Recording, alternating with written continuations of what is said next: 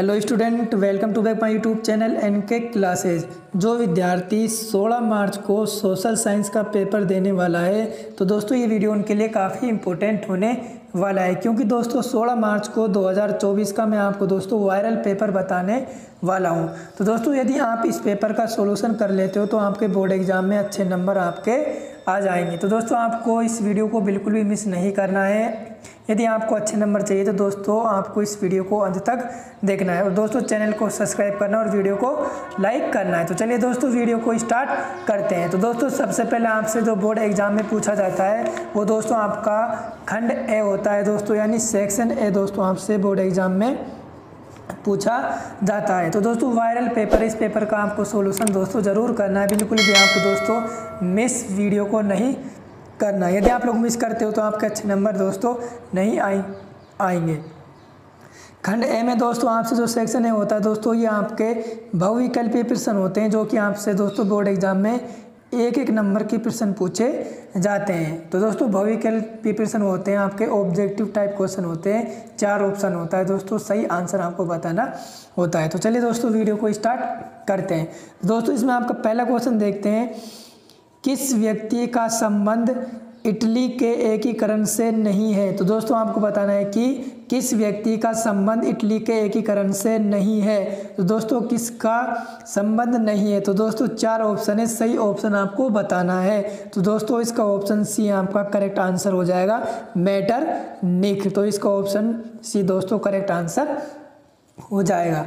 उसके बाद next question देखिए दोस्तों, निम्नलिखित में से कौन सा असंगत है? तो दोस्तों, आपको बताना है कि निम्नलिखित में से कौन सा असंगत है? तो चार ऑप्शन है दोस्तों आपके पास, सही ऑप्शन आपको बताना है। तो दोस्तों, इसमें बताना है कि निम्नलिखित में से कौन सा असंगत है? तो दोस्तों, इसका right option D right answer हो जाएगा। उपयुक्त सभी सही है। इसका ऑप्शन डी दोस्तों करेक्ट आंसर हो जाएगा। फिर नेक्स्ट प्रश्न है दोस्तों आपका। तीसरा प्रश्न देखिए। अली बधुओं का मोहम्मद अली व शौकत अली का संबंध मुख्यतः किस आंदोलन से है? तो दोस्तों, किस आंदोलन से चार ऑप्शन है। सही ऑप्शन आपको बताना है। तो दोस्तों, इसका राइट आंसर ऑप्शन है दोस्तों करेक्ट आंसर हो जाएगा आपका खिलाफत आंदोलन। तो दोस्तों, आपको वीडियो को लाइक करना और चैनल को दोस्तों, आपको ज़रूर सब्सक्राइब करना है।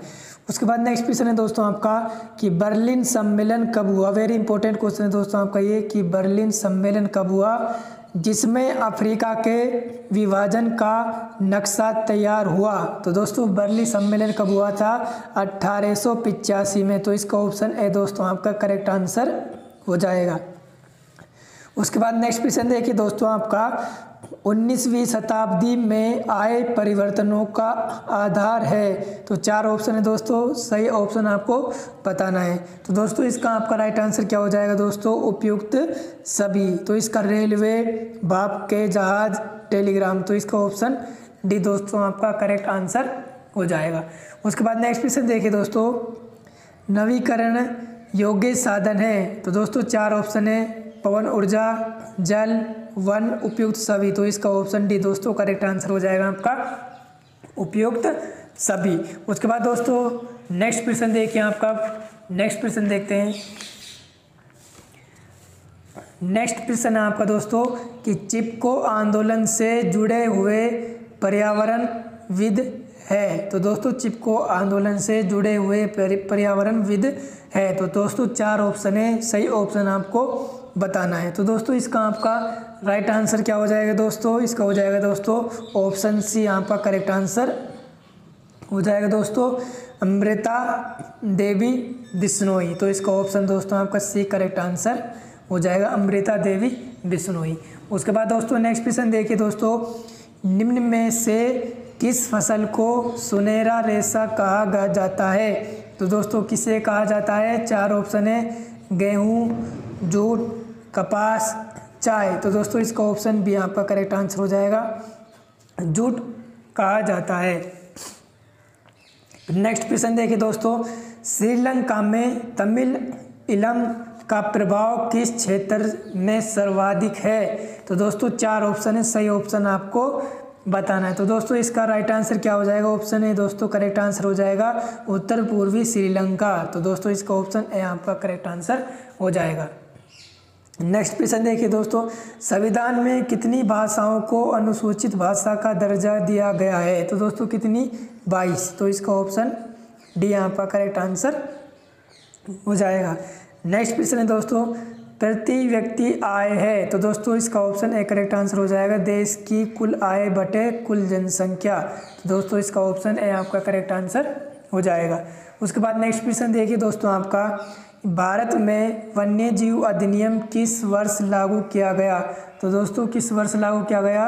उन्नीस सौ बहत्तर में। तो इसका ऑप्शन ए दोस्तों आपका करेक्ट आंसर हो जाएगा। उन्नीस सौ बहत्तर में लागू किया गया। उसके बाद नेक्स्ट क्वेश्चन देखिए दोस्तों आपका। नेक्स्ट क्वेश्चन है आपका कि निम्नलिखित में से सड़क परिवहन का प्रकार है। तो दोस्तों, सड़क परिवहन का प्रकार बताइए दोस्तों, क्या है? तो सड़क परिवहन का प्रकार क्या है दोस्तों? बस। तो इसका ऑप्शन ए आपका करेक्ट आंसर हो जाएगा। फिर नेक्स्ट क्वेश्चन देखते दोस्तों, कौन सा विकल्प सेवा क्षेत्र को व्यक्त नहीं करता है? तो दोस्तों, कौन सा विकल्प सेवा क्षेत्र को व्यक्त नहीं करता है? तो दोस्तों, कौन सा नहीं करता? डेयरी उत्पादन। तो इसका ऑप्शन ए, दोस्तों, आपका करेक्ट आंसर हो जाएगा। नेक्स्ट क्वेश्चन देखिए दोस्तों, उधार देने का नवीनतम विकसित स्रोत है। तो दोस्तों, इसका राइट आंसर क्या हो जाएगा आपका? इसका राइट आंसर हो जाएगा दोस्तों आपका स्वयं सहायता समूह। तो इसका ऑप्शन भी आपका करेक्ट आंसर हो जाएगा। स्वयं सहायता समूह। उसके बाद दोस्तों नेक्स्ट क्वेश्चन देखिए। अब दोस्तों, आपसे सेकंड क्वेश्चन जो पूछा जाता है बोर्ड एग्ज़ाम में दोस्तों रिक्त स्थानों की पूर्ति कीजिए। इसमें पहला क्वेश्चन देखिए दोस्तों, कि जून उन्नीस सौ बानवे में ब्राज़ील के शहर में प्रथम अंतर्राष्ट्रीय पृथ्वी सम्मेलन का आयोजन हुआ था। तो दोस्तों, कहाँ पर हुआ था? रियो डी जेनेरी तो दोस्तों, इसका ऑप्शन राइट आंसर क्या हो जाएगा दोस्तों आपका? रियो डी जेनेरिया, क्या हो जाएगी दोस्तों? Rio de Janeiro. इसका राइट आंसर हो जाएगा। उसके बाद दोस्तों नेक्स्ट प्रश्न देखिए। तो दोस्तों सेकंड प्रश्न है आपका, केंद्र सरकार की ओर से करेंसी नोट जारी करता है। तो दोस्तों कौन करता है? रिज़र्व बैंक तो इसका राइट आंसर क्या हो जाएगा दोस्तों आपका? रिज़र्व बैंक इसका आपका करेक्ट राइट आंसर हो जाएगा। पहले में दोस्तों आपका रियो डी जेनेरी आएगा और दूसरे में दोस्तों आपका आएगा रिज़र्व बैंक अब दोस्तों नेक्स्ट क्वेश्चन की ओर बढ़ते हैं। अब से नेक्स्ट क्वेश्चन देखिए दोस्तों आपका। नेक्स्ट क्वेश्चन आपसे पूछा गया है कि बांग्लादेश ग्रामीण बैंक के संस्थापक एवं 2006 में शांति के लिए नोबल पुरस्कार से सम्मानित है। तो दोस्तों, कौन है? प्रो मोहम्मद यूनिस। तो इसका ऑप्शन ये राइट आंसर हो जाएगा, प्रो मोहम्मद यूनुस। उसके बाद नेक्स्ट क्वेश्चन देखिए, प्रथम विश्व युद्ध सन में प्रारंभ हुआ तो प्रथम विश्व युद्ध दोस्तों 1914 में हुआ था।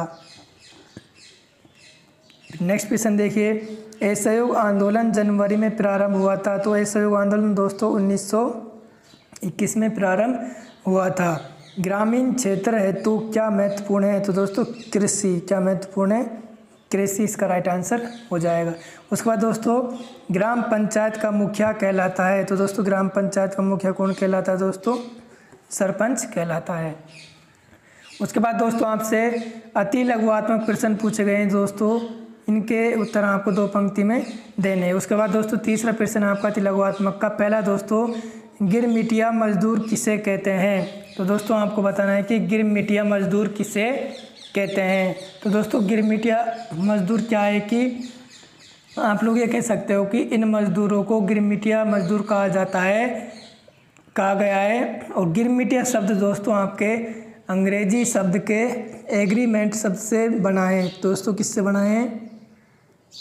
एग्रीमेंट शब्द का अपभ्रंश बताया गया है। उसके बाद दोस्तों, कागज़ पर अंगूठे का निशान लग लगवाया जाता है। उसी को दोस्तों आपको क्या कहते हैं, क्या कहते हैं दोस्तों, गिरमिटिया मजदूर कहते हैं। शॉर्टकट में आप बोल सकते हो दोस्तों, श्रमिकों का श्रम जिनकी स्वतंत्रता एक संविधात्मक संबंध की शर्तों और ऐसे कानूनों द्वारा प्रतिबंधित है जो ऐसी व्यवस्था को अनुमेय और लागू करने योग्य बनाते हैं। उसी को क्या बोलते हैं दोस्तों, गिरमिटिया मजदूर कहते हैं। उसके बाद दोस्तों नेक्स्ट है आपका वैश्वीकरण से आप क्या समझते हैं?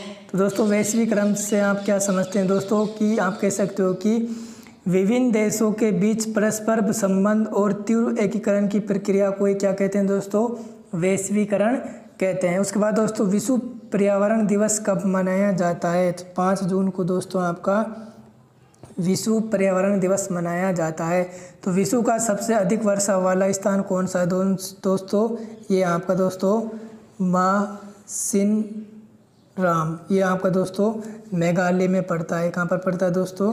मेघालय में पड़ता है। और इसका औसतन वर्षा होती है दोस्तों, ग्यारह हज़ार आठ सौ इकहत्तर मिलीमीटर की वर्षा होती है। रोपण कृषि से आप क्या समझते हैं? तो दोस्तों, रोपण कृषि आपको पता है कि वाणिज्य कृषि का ये एक प्रकार है, जहाँ चाय, कॉफ़ी, काजू, रबड़, केला उत्पाद, कपास आदि एकल फ़सल उगाई जाती है। उसी को क्या बोलते हैं दोस्तों? रोपण कृषि कहते हैं। अब नेक्स्ट है आपको भारतीय मुद्रा का क्या नाम है? ये तो आप सभी को पता होगा कि दोस्तों, भारतीय मुद्रा का क्या नाम है? तो दोस्तों, भारतीय रुपया। क्या नाम है दोस्तों? भारतीय रुपया यानी आई एन आर उसके बाद सरकार के कितने अंग होते हैं? तो दोस्तों, सरकार के तीन अंग होते हैं। फिर दोस्तों, विमुद्रीकरण से आप क्या समझते हैं? तो दोस्तों, विमुद्रीकरण को, इसकी स्थिति का मुद्रा इकाई को कानूनी निविदा के रूप में इस्तेमाल करने की प्रक्रिया को क्या कहते हैं दोस्तों?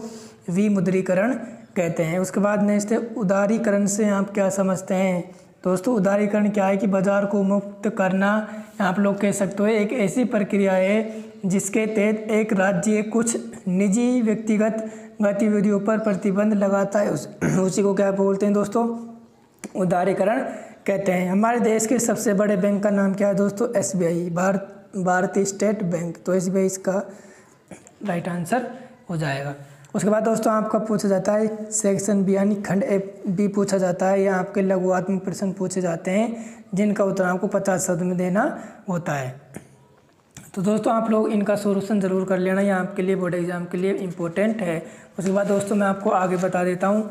उसके बाद दोस्तों आपसे पूछा जाता है सेक्शन सी यानी खंड से पूछा जाता है। यहाँ पे दोस्तों दीर्घ उत्तरी प्रश्न होते हैं, जिनका उत्तर आपको सौ शब्दों में देना होता है। और ये दोस्तों आपके अथवा में होते हैं, सारे प्रश्न, इनमें से आपको एक एक प्रश्न करना होता है। और सेक्शन डी में दोस्तों आपका मैप का कार्य है। मैप की अगर आपने वीडियो नहीं देखी तो वीडियो मैप की वीडियो देख लेना। मैंने ऑलरेडी आपको बना रखी तो दोस्तों आज की इस वीडियो में इतना है। अगर ये वीडियो अच्छी लगी तो वीडियो को लाइक करो चैनल को सब्सक्राइब करें।